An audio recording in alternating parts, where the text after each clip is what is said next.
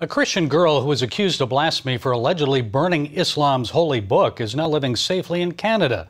The case focused international attention on Pakistan's harsh blasphemy laws. Her lawyer says Rimsha Masih left Pakistan with her parents, three sisters, and a brother on March 14th because of concerns for her life.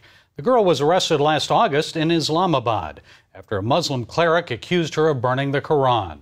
The cleric was later arrested for faking evidence and the girl was acquitted.